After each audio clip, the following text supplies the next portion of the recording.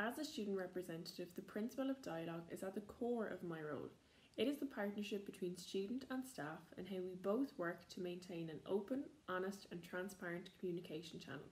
This vital relationship not only supports my role as a student representative, but also my own sense of belonging within my institution. This dialogue is underpinned by three key processes gathering fair and balanced feedback from my peers, reporting back to my academic liaison, and finally, taking actions and providing feedback to my peers, thus closing the feedback loop. Debate and discussion are key elements of dialogue and not to be shied away from. They are significant transferable skills, and in an environment where the final result of such debate and discussion are valued, they can see meaningful change brought about for both students and institutions. Dialogue can and should be central to all student representative engagements, both in and outside of the classroom, as it strengthens the legitimacy of the student representative in the hierarchy of third level institutions.